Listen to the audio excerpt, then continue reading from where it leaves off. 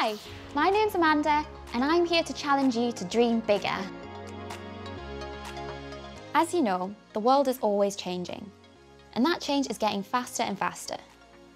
And that means the world of work is going to look very different by the time we get there and have our own careers. So we need to be ready. We need to be curious, passionate and inspired.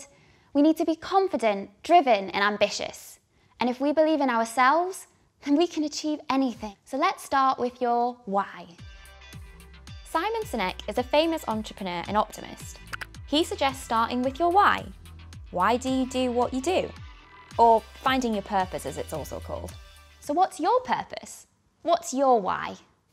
The definition of purpose is a person's sense of resolve or determination. It's your drive, your passion in life and why you are motivated to do something. Imagine a world in which everyone is inspired to go to work and comes home buzzing from the work that they do. Finding something that you can get passionate about is so important. It might be sport, travelling the world, or art and design, or even developing the new Snapchat. But whatever it is, it's the thing that makes us feel more confident and fulfilled in our life. So let's take a closer look. There are four defining features of your purpose. First up is dedicated commitment which means that you take the time you need to work at something. Then there's personal meaningfulness, which means it's got to get you fired up and really passionate. Next is goal directedness, which means is it something you can work towards? And finally, there's a vision bigger than self, which basically means look at the big picture. Does your purpose match with where you want to be in the future? Does it sit well with your vision of your future self? So have a think about it. Do you know what your purpose is yet? I mean, think about your passions, what motivates you, and most importantly, where you see yourself in the future. And if you're not there yet, then that's fine, that's okay. So many of us don't know what our purpose is yet. It just, it takes time. But we can't think our way into our life's passion and purpose.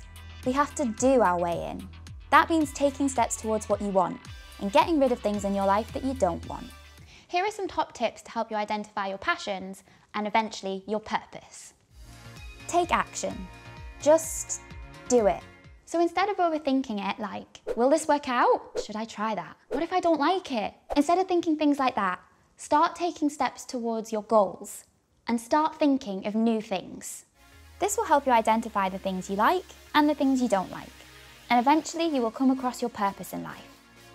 And now, number two. Your heart is a great tool to access your true purpose and passion. Ask yourself, what do you love? What thing do you do that makes you forget about everything else when you're doing it? Make sure it's realistic too though, and fits with your vision which we spoke about before. Start taking steps to do what you love. By following your heart and doing what you love, you're naturally happier and more inspired and motivated to fulfill your potential. How often do we hear someone say, she was born to do that? It's a common misconception that we were born to have just one passion or purpose in life. So if you follow your heart, you will discover multiple passions and many things that will make you happy. And when you lead a passionate life, you are living your life on purpose or living a purposeful life. Consider that the real purpose of anyone's life is to live your best life.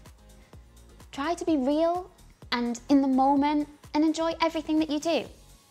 By following your heart, and doing what makes you happy, you'll be more purposeful and fulfilled, no matter what you end up doing. You just, you need to dream bigger.